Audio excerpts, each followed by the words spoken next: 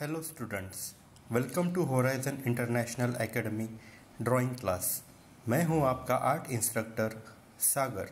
तो चलिए शुरू करते हैं आज की ड्राइंग क्लास आज की क्लास में हम बेसिक डिज़ाइनिंग कैसे की जाती है, इसके बारे में जानकारी लेंगे।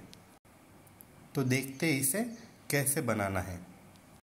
सबसे पहले आपके पेज पे आपको एक रेक्टेंगल बनाना है, जिसकी साइज़ होगी 18 सेंटीमीटर हाइट होगी और 20 सेंटीमीटर विड्थ होगी।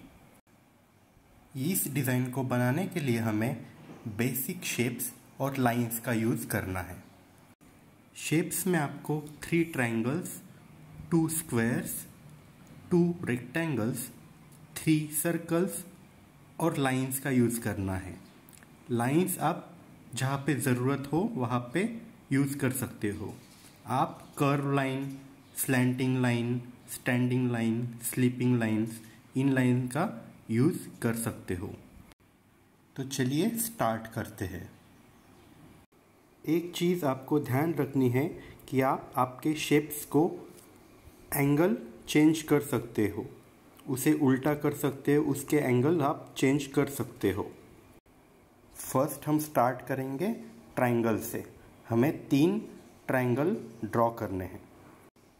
ड्रॉ करने के लिए हमें स्केल का यूज़ नहीं करना है। किसी भी मैकेनिकल इंस्ट्रूमेंट्स का यूज़ आपको नहीं करना है। फ्री हैंड से आपको करना है।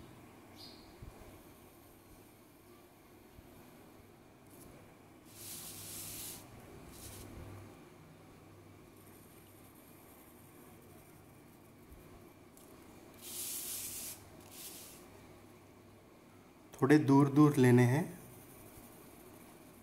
सभी सेम साइज़ में नहीं करने हैं आपको। कोई ट्रायंगल बड़ा होगा, कोई छोटा होगा।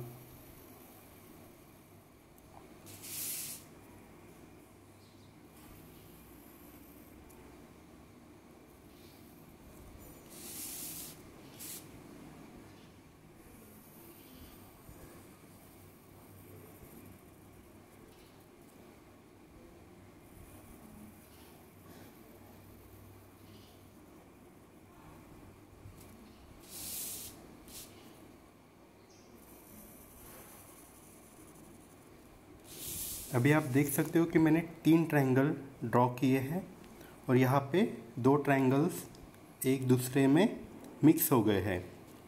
जब आपके दो शेप्स एक दूसरे में मिक्स हो और जो तीसरा शेप बने, वो ऐसे बने कि जिसके अंदर आप कलर अच्छे से कर सकते हो।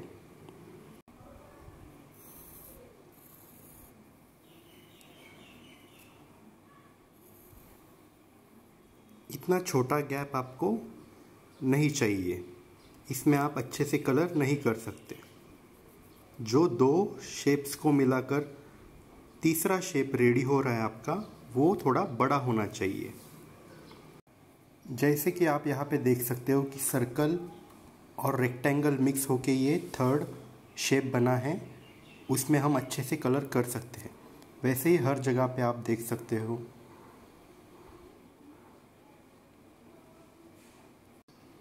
थर्ड शेप में कॉम्प्लिकेशंस नहीं होने चाहिए।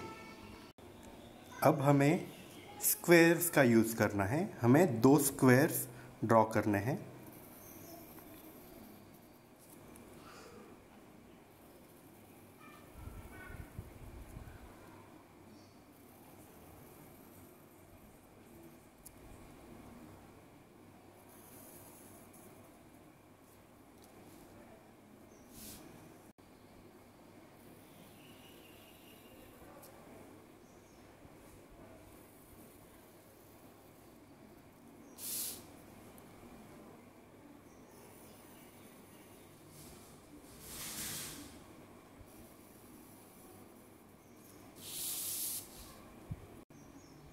दो रेक्टेंगल ड्रॉ करने हैं।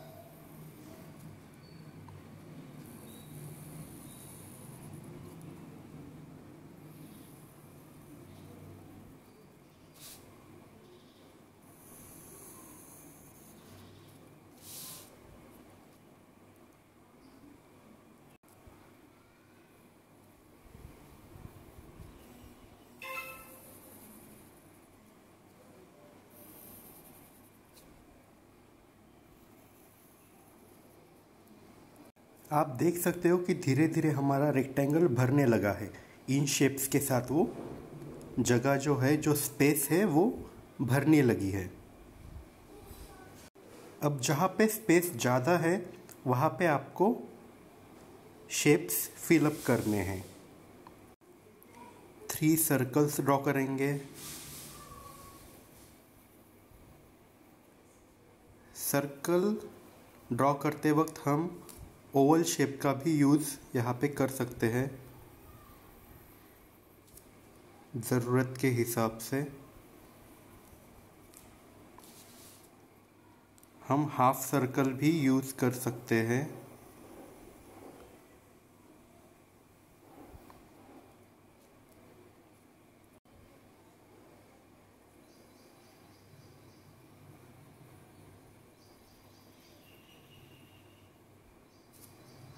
इस तरह से मैंने सारे शेप्स यूज़ कर लिए हैं। अब आपको यूज़ करनी है लाइंस लाइंस कहाँ पे यूज़ करनी है देखते हैं। अभी आप देख सकते हो कि यहाँ से लेके यहाँ तक इस स्पेस को कहाँ पे भी ब्रेक नहीं है। देख सकते हो आप, कहीं पे भी ब्रेक नहीं हुई है। तो यहाँ पे ब्रेकिंग के लिए हम लाइंस का यूज़ करेंगे। सी ये शेप अभी अलग हो गया, इस लाइन की वजह से। तो जहाँ पे स्पेस ज़्यादा है, वहाँ पे डिवाइड करने के लिए हमें लाइंस का यूज़ करना है।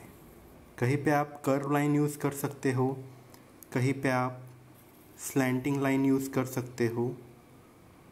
अगर मुझे कलर देना है फिलअप करना है तो मुझे इस स्पेस में इतना सारा कलर फिलअप करना होगा। तो अगर मैं लाइन से ब्रेक कर देता हूँ उस स्पेस को तो मुझे ज़्यादा स्पेस डिवाइड हो जाएगी। यहाँ पे भी फ्री स्पेस ज़्यादा है तो मैं इसे लाइन से डिवाइड कर दूँगा।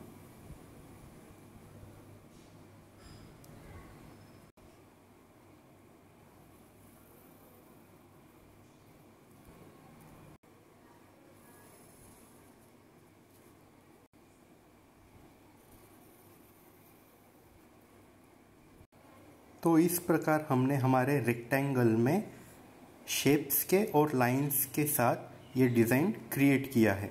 अब देखते हैं इसे शेडिंग कैसे करना है। ये हम पेंसिल शेडिंग से इसे कंप्लीट करने वाले हैं। जैसे कि आप देख सकते हो कि मैंने डार्क मीडियम और लाइट शेडिंग का यूज़ किया है। वैसे ही आपको लाइट मीडियम डार्क से ये पूरा कंप्लीट करना है। डार्क के पास में डार्क नहीं आएगा, लाइट के पास लाइट नहीं आएगा। तो ये चीज़ आपको ध्यान में रखनी है। शेडिंग करते वक्त आपको डायरेक्शन का ध्यान रखना है। एक ही डायरेक्शन में हो। लाइट, मीडियम, डार्क, हमें क्लियरली पता चलने चाहिए।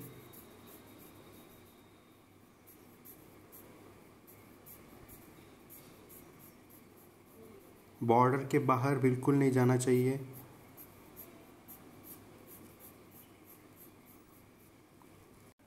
आपका डिज़ाइन पूरा होने के बाद कुछ ऐसे लगना चाहिए। Thanks for watching